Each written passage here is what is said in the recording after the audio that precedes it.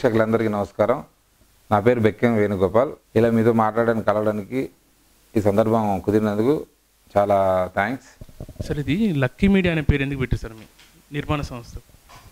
And నేను అంతకుముందు production ఎగ్జిక్యూటివ్గా ఉన్న తర్వాత ఎలాంటి బ్యానర్ పెట్టాలనుకున్నాను అంటే ఇది సడన్గా తీసుకున్న నిర్ణయం అండి.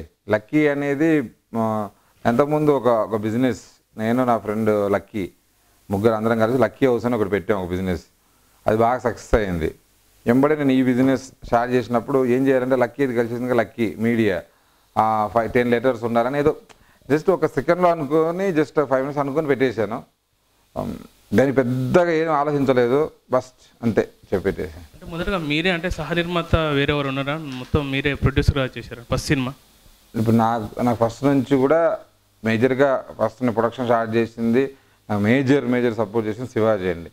తను హీరోగా ఉండి తను అన్ని రకాలుగా నాకు సహాయం చేస్తూ నా ఫ్రెండ్ మామిడిశెట్టి శ్రీనివాస్ నేను శివాజీ మామిడిశెట్టి శ్రీనివాస్ జిమ్నిటీ స్టార్టింగ్ ఏరియా నుంచి ఫ్రెండ్స్ అప్పటికి నేను టూ థౌజండ్ సిక్స్లో ఫైవ్లో బ్యానర్ స్టార్ట్ చేసినప్పుడు సిక్స్లో మొదటి సినిమా రిలీజ్ అయింది.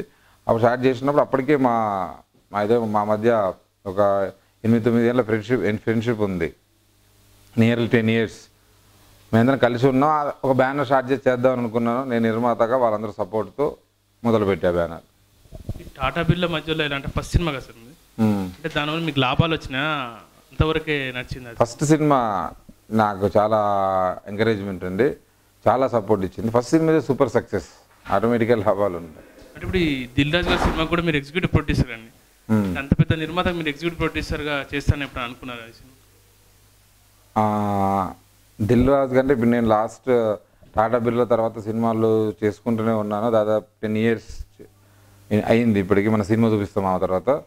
నేను దిల్ రాజు గారు ఈజ్ నా ఏమంటారు కదా నా ఇన్స్పిరేషన్ ఈజ్ మై ఇన్స్పిరేషన్ అంటే తన సినిమా తీసే విధానం కథలు సెలెక్ట్ చేసుకునే విధానం అవన్నీ నేను ఎప్పటికెప్పుడు చాలా దూరంగా ఆయన గమనిస్తానంటే అక్కడక్కడ ఆయన పలకరించడం అంత తప్ప నేను ఎప్పుడు క్లోజ్ రిలేషన్ ఆయనతో లేదు. నేను ఎప్పుడు ఎప్పుడు ఆయన ఫాలో అయ్యేవాడిని. తర్వాత సినిమా చూపిస్తామా అనే సినిమా ముందు సినిమాకు ఆ సినిమా దగ్గర నుంచి తనకు ఆ సినిమా చూడడం నచ్చడం నైజాం డిస్ట్రిబ్యూషన్ దాంతో తనతో క్లోజ్ రిలేషన్ స్టార్ట్ అయింది. ఆ తర్వాత మా టీంకే సంబంధించిన ఒక కథ తనకి మన వాళ్ళందరూ తయారు చేసిన కథనే సేమ్ శ్రీనివాసం టీం కథ చేసిన కథ ఆయనకు చెప్పడం జరిగింది. ఆయన సరే ఆ ప్రాజెక్టు నువ్వే హ్యాండిల్ చేయి నువ్వే చేసి పెట్టు ఈ రకంగా నేను రకరకాల సినిమాల్లోనూ చేసి పెట్టండి చేసి చేస్తున్నాను. ఇదే అతను ఆయనతో కలిసి జర్నీ చేయటం అతనితో కలిసి సినిమా చేయటం అనేది ఇది బిగ్ ఆపర్చునిటీ ఫర్ మీ చాలా గొప్ప అవకాశం కింద ఫీల్ అవుతున్నా. ఆ అవకాశం సద్వినియోగం చేసుకుంటూ ఆయనకు సూపర్ సక్సెస్ సినిమా మా టీం నుంచి తనకు అందించాలని చాలా శ్రమ పడుతూ చాలా ముందుకు వెళ్తున్నాం డెఫినెట్లీ చాలా సూపర్ హిట్ సినిమా చేయబోతుంది చేస్తున్నాం మేము. త్రినాథ్ గారికి మీ మధ్యన మంచి రిలేషన్ అంటే ఎట్లా కుదిరిందండి అది ఫస్ట్ నేను త్రినాథ్ నేను బ్రహ్మలోకం బ్రహ్మలోకం సినిమా స్టార్టింగ్ చేసే టైంలో త్రినాథ్ వాళ్ళ వేరే ఫ్రెండ్ మన లక్ష్మణ్ అని నా ఫ్రెండ్ తనతో సినిమా చేద్దాం వాళ్ళిద్దరూ నా దగ్గరికి రావడం ఒక సినిమా అనుకున్నారు. సరే ఆ కథ వర్కౌట్ అవ్వదు. ఈ అబ్బాయి టాలెంటెడ్. కానీ ఆ కథ ఇప్పుడు చేసిన కథ అయితే వర్కౌట్ అవ్వదు. మీరు అనుకున్న బడ్జెట్ అంటే సరే గోపి నీతో కలిసి చేస్తానని లక్ష్మణ్ అన్న తర్వాత ఒక one year one half year Trinath నాతో పాటు ట్రావెల్ చేశాడు. రకరకాల కథలు డిస్కస్ చేసిన ఎలాంటి కథ చేద్దాం ఎలాంటి కథ చేద్దామని. ఆఫ్టర్ బ్రహ్మలోకం టు మళ్ళీ మేము ఒక లవ్ స్టోరీ చేద్దామని మేము వయసుకు వచ్చాం మొదలుపెట్టి దానికి ఎనిమిది నెలలు కూర్చుని కథ తయారు చేసి సూపర్ సక్సెస్ కొట్టాం. అట్లా త్రినాథ్తో రిలేషను సక్సెస్ అలా స్టార్ట్ అయ్యాం. ఈ సినిమా మీద ప్యాషన్తోనే అంటే సినిమా ఫీల్డ్కి వచ్చారండి. ఎట్లా మీరు అసలు ఈ ఫీల్డ్కి రావడానికి కారణం ఇది మెయిన్ ముఖ్య ఉద్దేశం.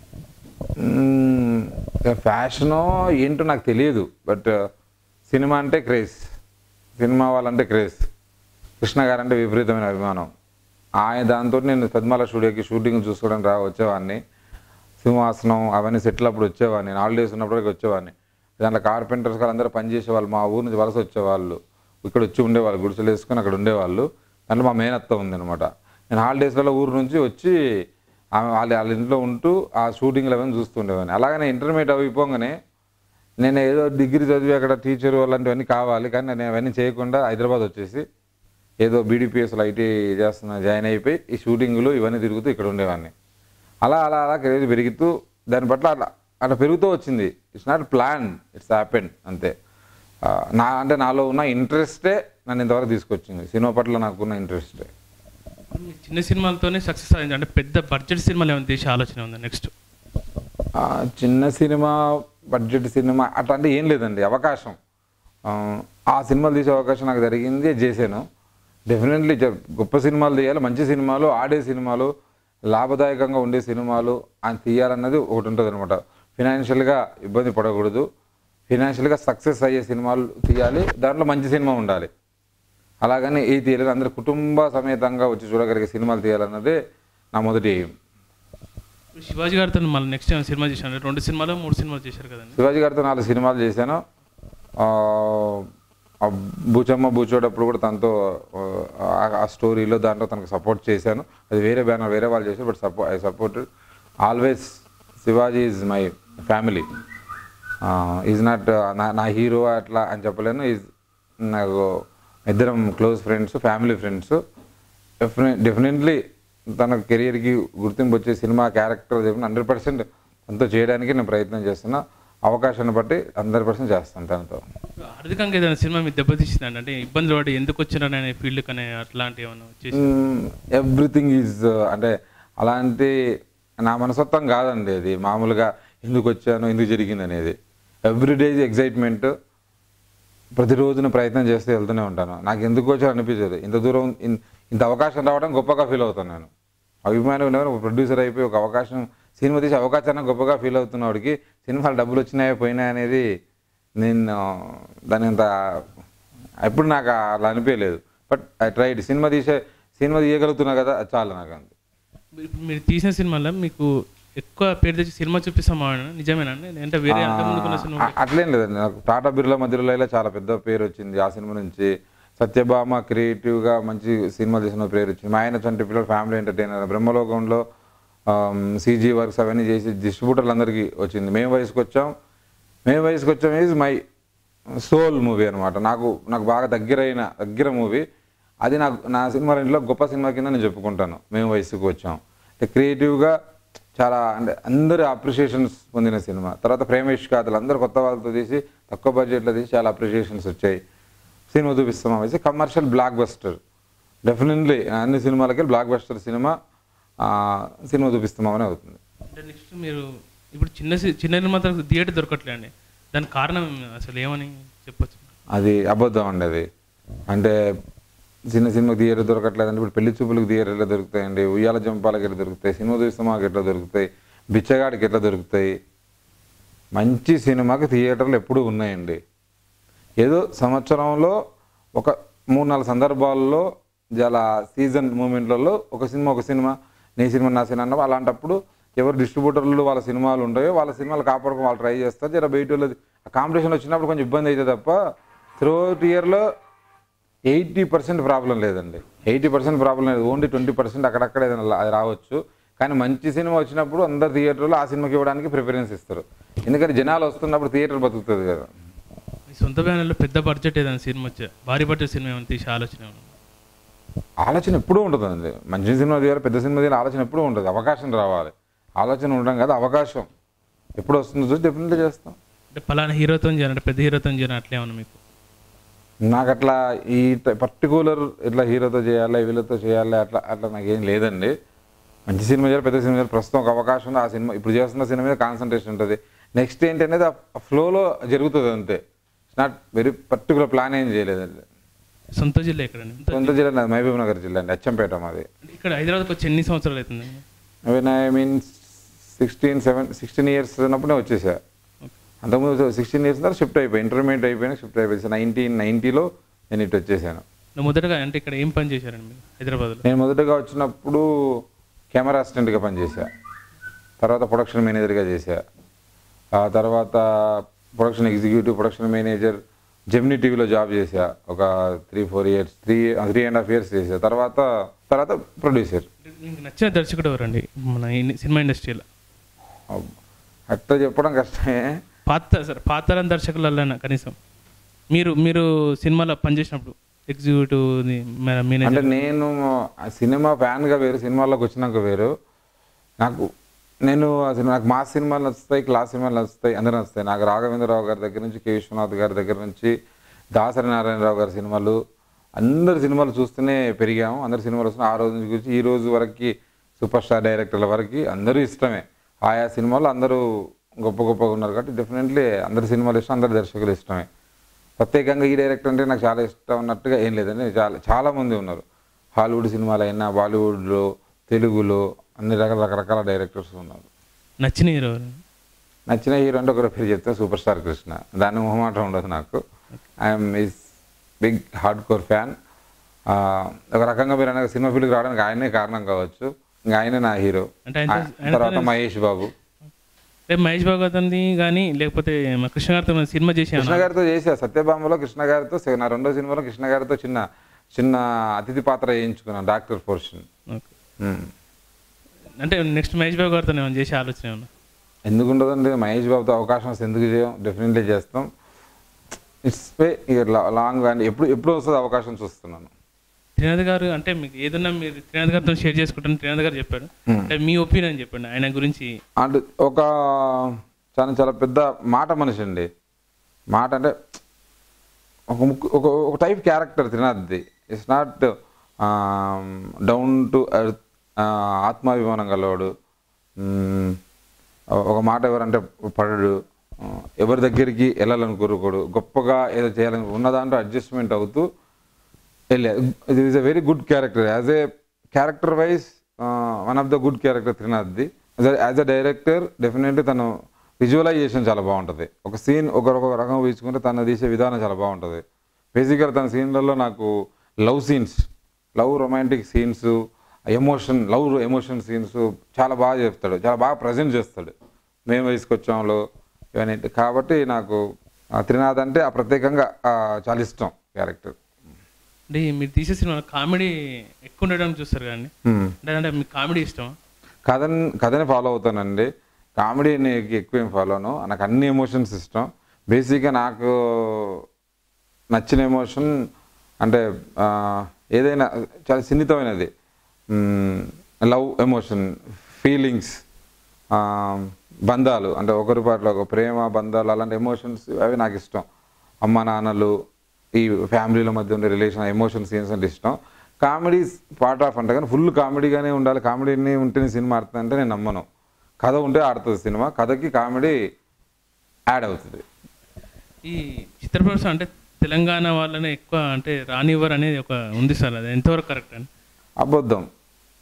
అబద్ధం అండి అది అబద్ధం అని తెలుస్తూనే ఉంది. ఎందుకంటారో తెలియదు నాకు అది ఎందుకు తెలంగాణ వాళ్ళు రానియలేదు? వాళ్ళు వస్తారు ఏమీ లేదండి.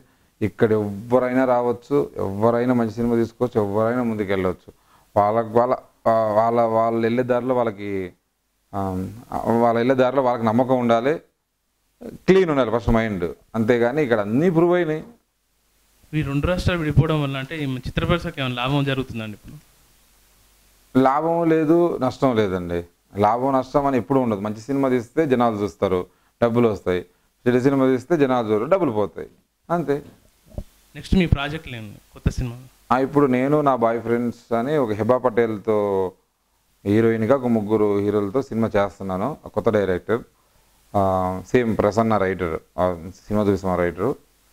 రెండో దిల్రాజ్ గారు నానితో తీసిన సినిమాలు చేస్తున్నా. దానికి నేను కో ప్రొడ్యూసర్గా వర్క్ చేస్తున్నా. అంటే ఈ ప్రస్తుతం ఈ టూ ప్రాజెక్ట్స్ మీద కాన్సన్ట్రేషన్ అక్కడే ఉన్న ఆఫ్ అన్లే చేస్తున్నా మీరు చేసిన సినిమా అంటే మీకు నచ్చిన హీరో మీరు చేసిన మీరు ప్రొడ్యూసర్ చేసిన సినిమాలో. శివాజీ అండి. మీకు ఏం చెప్పండి నాకు నచ్చిన is my is my friend is very good actor అంటే చాలా గొప్ప నటుడు అండి. తను తన కెరియర్ ఇప్పటికీ ఏదో ఈ సినిమాలు చేసిన హీరోగా చేశాడు కదా. అసలైంది ఇంకా చేసి చాలా ఉంది. తను చేసి గొప్ప అంటే ఇండియా వైజ్ భారతదేశం అంతా అన్ని భాషల్లోకి అన్ని భాషలని తీయగల గొప్ప నటుడు అతను. డెఫినెట్లీ నాకు Shivaji support first four movies ఆ బేస్ ఆ మొత్తం ఇచ్చినంత వల్ల నేను ఈరోజు ఇండస్ట్రీలో ఇంత బాగా వెళ్ళి అన్ని ఇన్ని పరిచయాలు ఇవన్నీ ఏర్పడితే ఎవ్రీథింగ్ మొత్తం శివాజీ నుంచి వచ్చిందండి. అంటే అతను ఇప్పుడు రాజకీయాల వైపు వెళ్ళిన కానీ అది అది ఎంతవరకు కరెక్ట్ మీరు ఏమన్నా సజెషన్స్ ఏమైనా ఇచ్చారండి? నేను అట్లే ఉన్నాను. తను తన ఇష్టం తను తప్పు చేయడు. నిజంగా మాట్లాడతాడు. తప్పు చేసి మోసం చేసి డబ్బు సంపాదించాలి అనేది ఏం లేదు. తను ఒకటి నిజం మాట్లాడుతాను యాజ్ ఎ హ్యూమన్గా తనకు ఒక రైట్ ఉంది. హ్యూమన్ బీయింగ్గా అందులో ఈజ్ పాపులర్ సినిమా వాడికి యాభై సినిమాలు ఎంతో జనాల్లో పాపులారిటీ ఉంది. తను మాట్లాడితే నలుగురు జనాలు వింటారు. నేను ఇప్పుడు వెళ్ళి మనం ఏదో మాట్లాడితే ఎవరు వినరండి. ఫేస్ వాల్యూ ఉండాలి మాట్లాడినప్పుడు. అట్లీస్ట్ ఫేస్ వాల్యూ ఉండాలి ఆ ఫేస్కి ఒక క్యారెక్టర్ ఉండాలి. తన గుడ్ విల్ ఉంది మంచోడు ఎక్కడ ఎక్కడ బ్యాడ్ నేమ్ లేదు. కాబట్టి డెఫినెట్లీ అతను ఏదో చెప్పాలనుకుంటున్నాడు జనాలకి. ఏదో చేయాలంటున్నాడు జనాల కోసం ఏదో చేయాలంటున్నాడు. తనకు ఇన్ని ఇన్ని రోజులు సినిమా ఫీల్డ్లో సినిమాలు చూసి సపోర్ట్ చేసిన జనాల కోసం రెస్పాన్సిబిలిటీ పర్సన్గా ఏదో చేయాలనుకున్నాడు చేయని. నేను ఆల్వేస్ సపోర్ట్ చేయం. దిల్ రాజు గారు ఎక్కువ అంటే తెలంగాణ చాలా వరకు నమ్మడని ఒక అపవాదం అంటే మీకు ఎట్లా అవకాశం వచ్చిందంటే మీకు ఆయనతో అంత క్లోజ్నెస్ ఎట్లా పెరిగిందండి? దిల్ రాజు గారు నమ్మరని ఎవరన్నా దిల్ రాజు గారు అందరినీ నమ్ముతారు.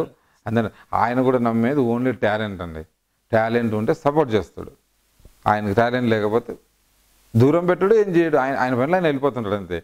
ఎవరికైనా సినిమాలు చేస్తున్నారండి. కొన్ని వందల చాలా మంది కొన్ని కోట్ల మంది జనాల కోసం మనం సినిమా చేస్తున్నాం. ఆ సినిమా తీసే విధంగా ఎవరైనా చెప్తాను కొత్త టాలెంట్ వస్తే నమ్ముతాడు. ఇస్తాడంతే. ఇక్కడ ప్రాంతాలు భేదాలు అని ఏమి ఉండవండి సినిమాలో. మీ అంబిషన్ మీ సినిమాలు తీస్తుండడం. కోరిక. ఇంకా వేరే ఇంకా కోరిక ఉంటుంది అండి ఈ హీరోతో చేయాలి ఒక ప్రాజెక్ట్. నాకు అట్లా సినిమాలు తీస్తున్నారు అంతే. సినిమా ఫీల్డ్లో మంచి మంచి సినిమాలు తీసి మంచి సక్సెస్ సాధించి వెళ్ళాలి. అదే అదే నా కోరిక. నాకు ఇంత ఇది ఇంత రాయాలి ఇన్ని కోట్లు సంపాదించాలి ఇంత ఇది చేయాలి ఫలానా ఏమీ లేదండి. మంచి సినిమాలు తీస్తూ జనాల్లో మంచి సినిమాలు చేస్తూ హిట్ సినిమాలు చేసుకుంటూ ముందుకు వెళ్తూ ఉండాలి. మంచి పేరు ప్రతిష్టలు సంపాదించుకోవాలి. మంచి ప్రొడ్యూసర్ అని పేరు తెచ్చుకోవాలి. ఎక్కువ మీ బాధలను ఎక్కువ ఎవరితో షేర్ చేసుకుంటారు నేను ఎక్కువ బాధలు షేర్ చేసుకోనండి నాకు ఇష్టం ఉండదు. ఎట్లా ప్రాబ్లం ఎలా సాల్వ్ చేసుకుని కొంత ఫ్రెండ్స్ ఉంటే అట్లా బాధలు ఎక్కువ షేర్ చేసుకుని నాకు ఇష్టం ఉండదు. ఐ డోంట్ వన్ నేను నా బాధపడుతాను చెప్తే అతను బాధపడతాడు. ఆలు డల్ అవుతాడు. అతను జల్దీ నాకు ఇష్టం ఉండదు అనమాట బాధ నేనే ఉంటాను నా సంతోషాన్ని షేర్ చేసుకుంటాను అందరితో నా ఫ్యామిలీతో మా వైఫ్తో అండ్ నా ఫ్రెండ్స్ క్లోజ్ నాకు చాలామంది ఫ్రెండ్స్ ఐఎమ్ వెరీ ఫ్రెండ్లీ ఎప్పుడు జనాల మధ్యలోనే ఉంటా. మూమెంట్స్ ఉంటా తిరుగుతుంటా ఎంజాయ్ చేస్తుంటా అన్ని చాలా కూల్గా అవి ఉంటుంది కాబట్టి నేను బాధని దాదాపు బాధని అవాయిడ్ చేయడానికి ట్రై చేస్తా. ఇన్ని రోజులు మీరు పడ్డ కష్టం అంటే మంచి గుర్తింపు వచ్చిందని లక్కీ మీద అనుకుంటారండి మీరు? Hundred percent. గుర్తింపు రాకపోతే సపోర్ట్ చేయకపోతే ఇంతమంది సహాయం చేయకపోతే ఇంతమంది సపోర్ట్ లేకపోతే ఇన్ని సినిమాలు తీసుకుంటే ఇక్కడ ఉండలేమండి. అందరూ సపోర్ట్ చేశారు. ఫ్రెండ్స్ నా ఫ్యామిలీ మా చుట్టాలు అంద- అందరూ సపోర్ట్ చేశారు. అందరూ వాళ్ళ చేతనైన సపోర్ట్ వాళ్ళు చేశారు. Major support is Shivaji of course is my family friend కాబట్టి అలా ఉంది కాబట్టి నేను ముందున్నాను మీకు నచ్చిన నిర్మాత ఎవరండి? నిర్మాత. నాకు నచ్చినది రామానాయుడు గారు అండి రామానాయుడు గారు దిల్ రాజు గారు. మీరు చేసిన సినిమాల్లో మీకు నచ్చిన దర్శకుడు ఎవరండి? మీరు చేసిన సినిమాలలో. అలా అయినా అట్లా చెప్పలేను. ఎట్లా అంటే శ్రీనివాస్ రెడ్డి టాటా బిల్ల మీద అన్ని భుజాల మీద వేసుకొని నాకు చాలా సపోర్ట్ చేసి my very good director very good friend ఈ రోజు కూడా డైరెక్టర్ గారు very good relation with second Satyabhama Hari నా close friend Hari is my one of friend వాడిని ఇప్పటికీ ఉంటున్నాం. తర్వాత మూడో సినిమా రాజవనన్ రెడ్డి గారు సూపర్ డైరెక్టర్ ఆయన చాలా హిట్ సినిమాలు చేశారు. తను కూడా చాలా అనుగుణంగా నాకు చాలా రీజనబుల్గా సినిమా చేసి ఇచ్చాడు. నాకు సేఫ్ అయింది చాలా ఎక్కడ చేయలే. బ్రహ్మలోకి నాకు నాగేశ్వరరావు గారు ఆయన లాయర్ ఆయన ఫస్ట్ టైం వచ్చాడు. తను ఫుల్ అన్ని రకాలుగా నాకు ఆ సినిమాకి సపోర్ట్ చేసి ఆ సినిమా ముందుకు రావడానికి రిలీజ్ అయ్యి హ్యాపీగా ఉండడానికి చేసింది. మేము వయసుకు వచ్చాం. త్రినాథ్ ఇప్పుడు చేస్తున్నాను. తర్వాత ప్రేమిష్ కాదల పవన్ సాధనేని. యూఎస్లో ఎక్కడ ఉన్న సినిమా చేస్తుంటే వచ్చి నా కోసం ఎంత టైం అంతా త్యాగం చేసి అందరూ జమ చేసి మంచి సినిమా చాలా తక్కువ బడ్జెట్లో తీశాడు త్రినాథ్. కాబట్టి అందరూ వాళ్ళకు వాళ్ళకి సంపాదించేసి నాకు ఎవ్వరితో ఎలాంటి లేదు అందరూ ఈ రోజు వరకు కూడా అందరితోటి చాలా కూల్ రిలేషన్ ఉంది. అరే డైరెక్ట్ సినిమా అయిపోయినాక డైరెక్టర్ ప్రొడ్యూసర్ ఎలా అనుకుంటారంటే ఏముంటాయి నాకు ఏమీ లేవు. వాళ్ళందరూ నా ఫ్యామిలీ అందరూ నా ఫ్యామిలీ ఫ్రెండ్సే.